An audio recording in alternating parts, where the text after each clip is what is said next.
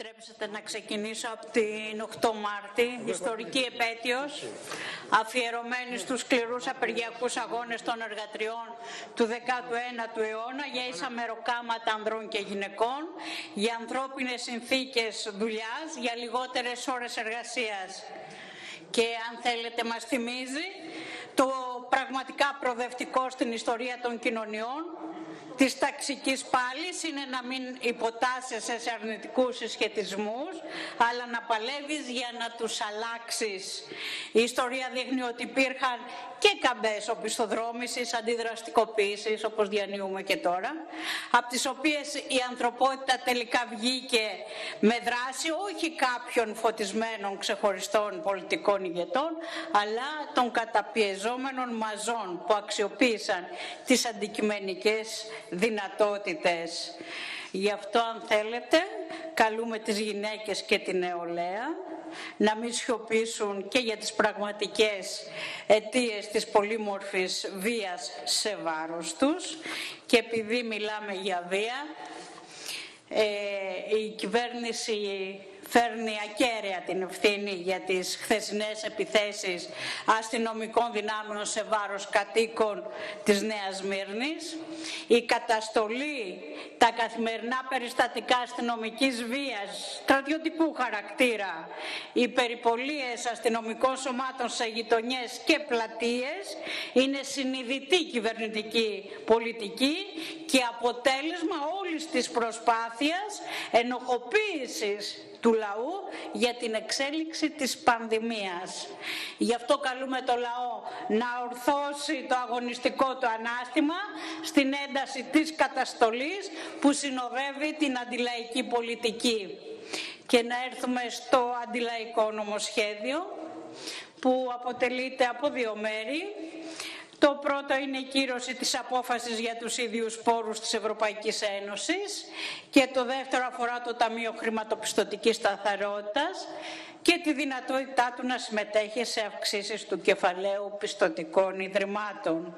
Δηλαδή είναι μια μορφή από το ρόλο που έχει να σώζει τράπεζες με χρηματοδοτήσεις από λεφτά του λαού και να μην θεωρείται κρατική επιχορήγηση για να μην υπάρχουν προβλήματα με την Ευρωπαϊκή Ένωση. Σε ό,τι αφορά το πρώτο μέρος, την κύρωση της κοινοτικής απόφασης. Θεσπίζονται νέοι ήδη πόροι για την Ευρωπαϊκή Ένωση, δηλαδή μορφές έμεσης φορολογίας σε βάρος του εργατικού λαϊκού εισοδήματος με πρόσχημα την ελάφρυση των εθνικών συνεισφορών από τους κρατικούς προϋπολογισμούς. Ο στόχος διπλός. Να μείνει περισσότερος δημοσιονομικός χώρος στα κράτη-μέλη για τη στήριξη του κεφαλαίου και ταυτόχρονα να αυξηθεί ο προϋπολογισμός της Ευρωπαϊκής Ένωσης με αφέμαξη του λαϊκού εισοδήματος, με την έμεση φορολογία και με τρόπο που δεν θα είναι φανερός στους λαούς. Εκτός από τον ίδιο πόρο ουσιαστικό φόρο για τα μη ανακυκλωμένα απορρίμματα πλαστικών συσκευασιών θα προσθεθούν και άλλοι πόροι φόροι ουσιαστικά, όπως έγινε και με το φόρο για τις πλαστικές σακούλες. Δηλαδή, Πρώτον, ποσοστό εσόδων από πληστηριασμούς του συστήματος εμπορίας ρήπων της Ευρωπαϊκής Ένωσης. Δεύτερο, από, από ψηφιακές συναλλαγές. Τρίτον, από χρηματοπιστωτικές συναλλαγές. Και τέταρτον, από διασυνοριακούς φόρους άνθρακα, από την εφαρμογή μιας κοινής ενοποιημένης βάσης φορολογίας των εταιριών στην Ευρωπαϊκή Ένωση η κοινή βάση φορολογίας των εταιριών στην Ευρωπαϊκή Ένωση καθώς και ο ψηφιακός φόρος και ο διασυναριακός ε, που προτείνονται συνδέονται και με ανταγωνισμούς ανάμεσα σε ευρωπαϊκούς μονοπωλιακούς ομίλους και τους αντίστοιχους, με τους αντίστοιχους των ΗΠΑ και της Κίνας. Κυρίως και με την επιδίωξη νέων φοροελαφρύσεων των μεγάλων ευρωπαϊκών ομίλων. Για μας το λέμε καθαρά, ήδη οι πόροι της Ευρωπαϊκής Ένωσης είναι αντιλαϊκοί φόροι που θα βαρύνουν το εργατικό λαϊκό εισόδημα και για την αποπληρωμή των 750 δις που δανείζεται η Ευρωπαϊκή Ένωση για το Ταμείο Ανάκαμψης και που θα ξεκοκαλίσουν οι μονοπωλιακοί όμιλοι και θα κληθούν να πληρώσουν οι εργαζόμενοι. Επίσης, αυξάνονται τα ανώτατα όρια των ιδίων πόρων πληρωμών και αναλήψεων. Τώρα, γιατί γίνονται αυτές οι αλλαγές και παίρνονται αυτά τα μέτρα; Μα γιατί η ανάγκη κοινοτικής στήριξης με μια ισχυρή κρατικής παρέμβασης στις οικονομίες των κρατών μελών είχε ενταθεί πριν από την εμφάνιση της πανδημίας κατά την πίεση της επιβράδυσης της ανάπτυξης στην Ευρωζώνη. Όλες οι σοβαρές αναλύσεις διαπίστωναν στην ουσία το μέγεθος της υπερσυσσόρευσης του κεφαλαίου που δεν μπορεί να επενδυθεί με ικανοποιητικό ποσοστό κέρδους. Εντόπιζαν μορφές του προβλήματος όπως η μεγάλη έκθεση Ευρωπαϊκών Τραπεζικών Ομίλων στα ομόλογα υπερχρεωμένων κρατών και στα κόκκινα δάνεια. Συνεπώς πίεσαν για αυτά τα μέτρα που δεν ήταν χωρίς συζητήσεις και αντιθέσεις τρεις βασικοί λόγοι. Πρώτον, η πρόβλεψη για το μεγάλο βάθος της κρίσης και τη δυσκολία γρήγορης ανάκαμψης στην Ευρωπαϊκή Ένωση. Δεύτερον, η όξυνση του ανταγωνισμού και των απειλών κυρώσεων κλιμάκωσης του οικονομικού πολέμου της Ευρωπαϊκής Ένωσης ε, με ΙΠΑ αλλά και την Κίνα μετά τον Brexit. Τρίτον, η ανισόμετρη εκδήλωση της κρίσης στα κράτη-μέλη και η απέτηση των υπερχρεωμένων κρατών του Νότου να διασφαλίσουν φτηνό δανεισμό με την άμεση στήριξη της υψηλής πιστοληπτικής ικανότητας της Ευρωπαϊκής Ένωσης.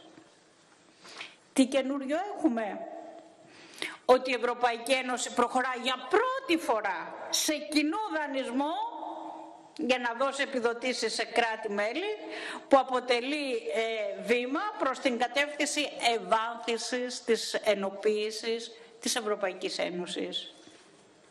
Ευάνθηση της ενοποίησης σημαίνει ενίσχυση των ενιαίων μηχανισμών για την εφαρμογή ενιαίων αντιδραστικών κατευθύνσεων σε βάρος των λαών αλλά και η αποπληρωμή του κοινού δανείου του Ευρωπαϊκού Ταμείου Ανάκαμψης θα συνοδευτεί με νέους ενιαίους φόρους και αυστηρή τήρηση του εκάστοτε πλαισίου δημοσιονομικής πολιτικής. Η εποπτεία για κράτη-μέλη όπως η Ελλάδα θα είναι πολλαπλή δίπλα στο Ευρωπαϊκό Εξάμεινο, στις μεταμνημονιακές δεσμεύσεις και τις εγκρίσεις δόσεων από το Eurogroup, στην εποπτεία της Κομισιόν για τη σωστή απορρόφηση του νέου ΕΣΠΑ θα προσθεθεί ένας μηχανισμός διαρκούς αξιολόγησης του προγράμματος μεταρρυθμίσεων και δεσμεύσεων που, θα, που υποβάλλει η κυβέρνηση με το Εθνικό Σχέδιο Ανάκαμψης. Αυτός θα αποφασίζει αν θα αποδεσμεύονται ή θα παγώνουν τα κονδύλια των περιβόητων επιδοτήσεων.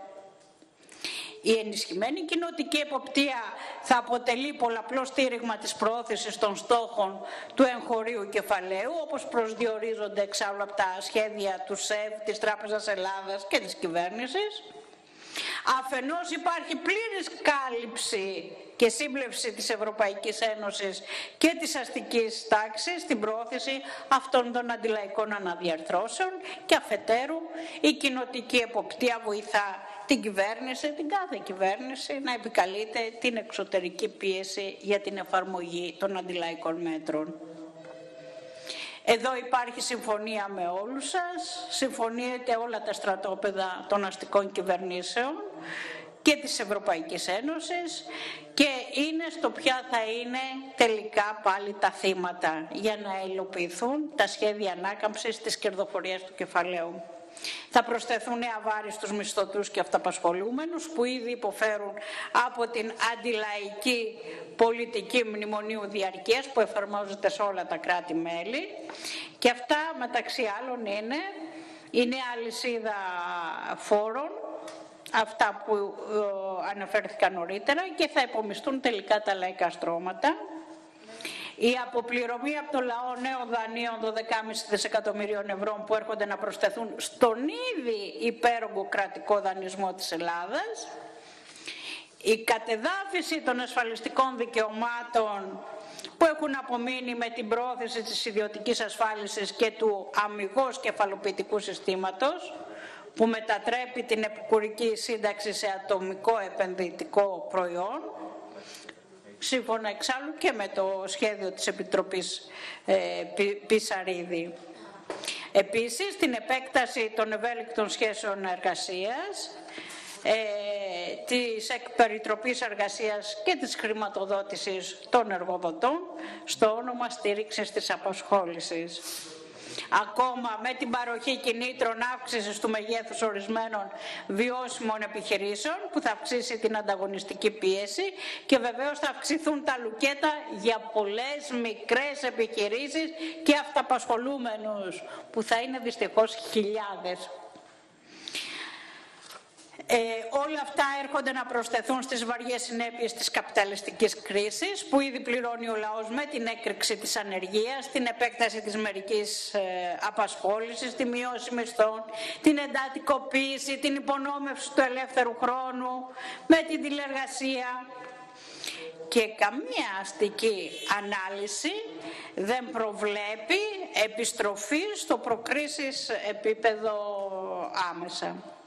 Σε ό,τι αφορά το Ταμείο Χρηματοπιστωτικής Σταθερότητας, στην ένατη έκθεση ενισχυμένης εποπτείας της Κομισιόν πριν 1,5 περίπου εβδομάδα περιγράφονταν αναλυτικά οι νέες παρεμβάσεις που προωθούνται για το επόμενο διάστημα και μεταξύ άλλων προωθούν πρώτον τη συνέχιση των μεταρρυθμίσεων στο χρηματοπιστωτικό τομέα ώστε αυτός να σφίξει κι άλλο τη δουλειά στα λαϊκά νοικοκυριά και επαγγελματίες και να τροφοδοτήσει με φτηνό χρήμα τους επιχειρηματικούς ομίλους.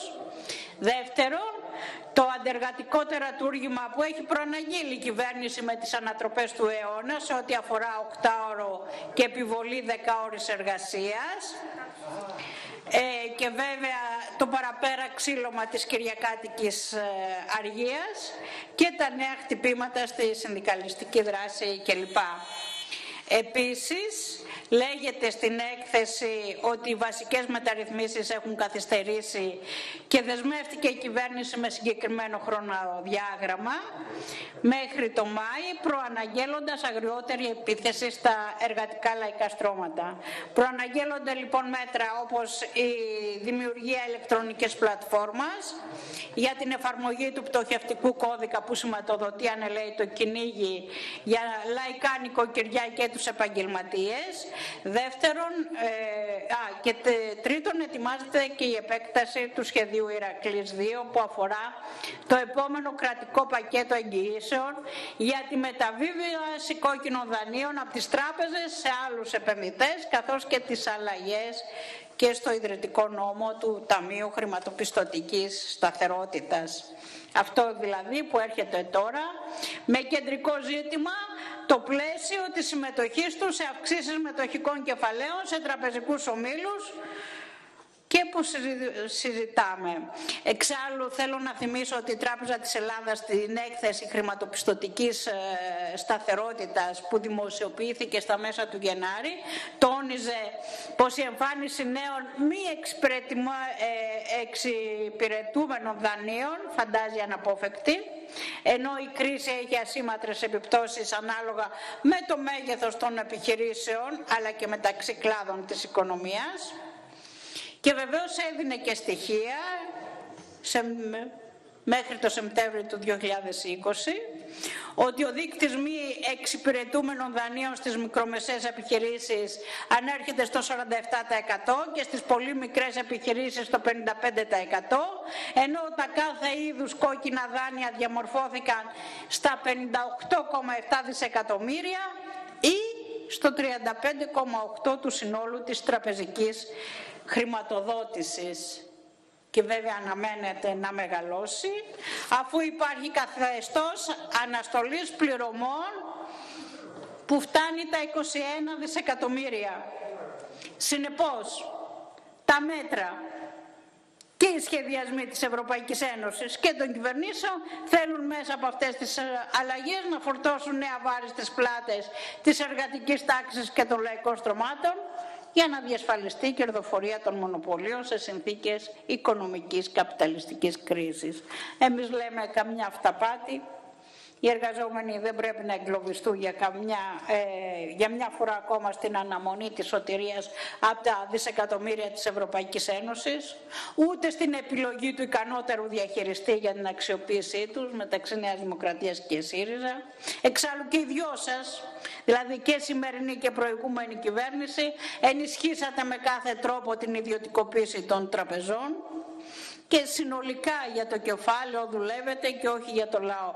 Εξάλλου να θυμηθούμε ποιους ωφέλησαν τις προηγούμενες δεκαετίες τα ΜΟΠ, το δεύτερο και τρίτο κοινοτικό πλαίσιο στήριξης, το ΕΣΠΑ. Τα προηγούμενα κοινοτικά κονδύλια δεν σκόρτισαν από εδώ και από εκεί όπως μας λένε, αλλά ενισχύσατε τους μονοπωλιακούς ομίλους και οι παραπλανητικές φωνές που αναδεικνύουν ως ιδιαιτερότητα την αδυναμία των ελληνικών κυβερνήσεων να απορροφούν και να υλοποιούν κοινοτικά προγράμματα διαψεύδονται και από την τελευταία μελέτη περιφερειακής ανάπτυξης του ΟΣΑ που κατατάσσει την Ελλάδα στη μεσαία σχετική κατηγορία της Ευρωπαϊκής Ένωσης.